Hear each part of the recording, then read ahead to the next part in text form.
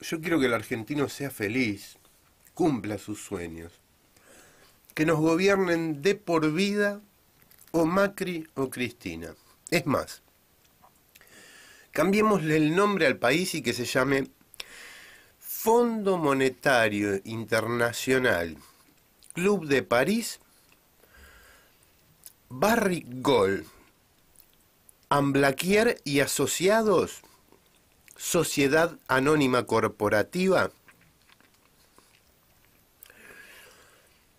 y eh, me gustaría además también que eh, hagamos, ¿cómo podríamos, cómo podríamos decirlo?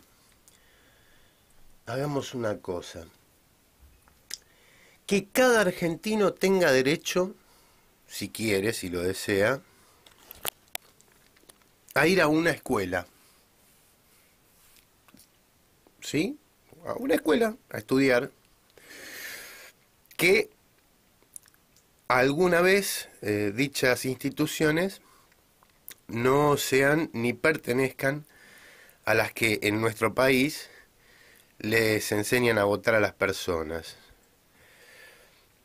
Capaz que un día se dan cuenta de que no estudiaron un carajo de historia y eh, por ahí, qué sé yo, empiezan a entender qué, qué es lo que hago cuando publico, ¿no? Algunas cosas críticas. Yo recuerdo que el plan quinquenal tenía que ver con unos ganaderos de un país que se había organizado agroindustrialmente, donde se le pararon de culo y se le pusieron de mano a Perón un montón de personajes de la, de la agroindustria y entonces empezó a comer pan negro y demás. Hmm. También recuerdo que esa misma sociedad rural lo silbó Alfonsín. Em, pero bueno, eh, capaz que mis recuerdos son falsos, ¿viste? ¿Qué sé yo? No sé. Eh, ay, hay una cosa... Bueno, en comparación, ¿cuál, ¿cuál, es la diferencia entre el gobierno de Macri y de Cristina?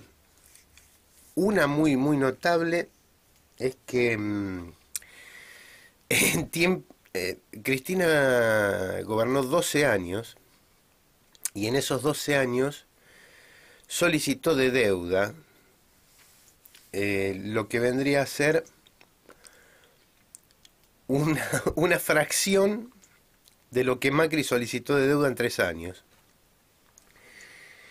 Pero en esos 12 años pagó de deuda más de lo que Macri lleva pagado. Eh, o sea que no sé, vos fíjate quién lo va a pagar después, ¿eh? eh